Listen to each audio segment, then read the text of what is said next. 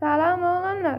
Dit keşbek rahat veren okma mu? Bırdaşlar işlah bolun ok mu? Kuğuratlar o yuttu bayım Ne kani bire yuttu? Bırdaşlar edeyim misin?